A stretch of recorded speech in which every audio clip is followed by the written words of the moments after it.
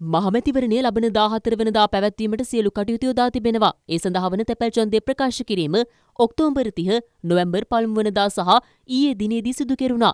මෙම දිනයන්හිදී තැපැල් ඡන්දය භාවිත කිරීමට නොහැකි වූ රාජ්‍ය සේවකීන්ට ලබන 7 වනදා සහ 8 වනදා යන දිනයන්හි ඡන්දය භාවිත කිරීමට පහසුකම් සලසා තිබෙනවා.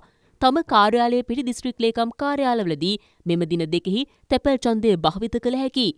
මේ අතර ජනාධිපතිවරණයට සාපේක්ෂව මෙවර තැපැල්චන්ද දායකීන්ගේ වැඩිවීමක් වාර්තා වී ඇති බව ජේෂ්ඨ නියෝජිත පැල්පති රාජිතකේ රණසිංහ මහතා පවසනවා.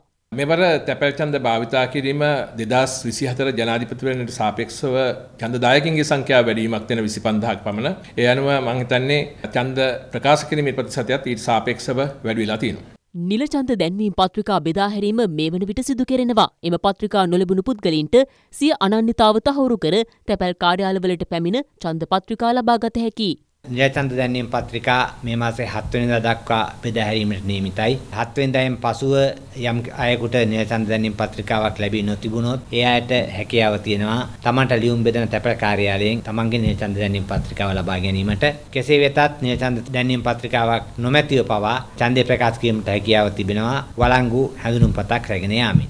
මේ අතර මහමැතිවරණය නොවැම්බර් 14 වනදා පැවැත්වීමට ගෙන ඇති තීරණය ආණ්ඩුක්‍රම ව්‍යවස්ථාවට පටහැනි බවට තීන්දුවක් ලබා දෙන ලෙස ඉල්ලා ගොනු කර තිබූ පෙත්සම නිෂ්ප්‍රභ කිරීමට ශ්‍රේෂ්ඨාධිකරණය ඊයේ නියෝග කළා. ත්‍රිපුද්ගල ශ්‍රේෂ්ඨාධිකරණ විනිසුරු මඩුල්ල එම පෙත්සම විභාගයට නොගෙන නිෂ්ප්‍රභ කිරීමටයි තීන්දු කළේ. ඒ අනුව මැතිවරණයේ ඉදිරි කටයුතු නියමිත දිනට කිසිදු බාධාවකින් තොරව සිදු කරගෙන යා හැකි බව මැතිවරණ කොමිසමේ සභාපතිවරයා ප්‍රකාශ කළා. මැතිවරණය පැවැත්වෙන කාලසීමාව තුළ කඩින පින්කම් පැවැත්වීම පිළිබඳවද මහා සංඝරත්නය සමග මැතිවරණ කොමිසම සාකච්ඡා කර තිබෙනවා. මැතිවරණය පැවැත්වුවද කඩින පින්කම් ගැටලුවකින් තොරව පැවැත්විය හැකි බවට මහා සංඝරත්නය දැනුම් දුන් බවයි මැතිවරණ කොමිසමේ සභාපති ආර්.එම්.ඒල් රත්නායක මහතා සඳහන් කළේ.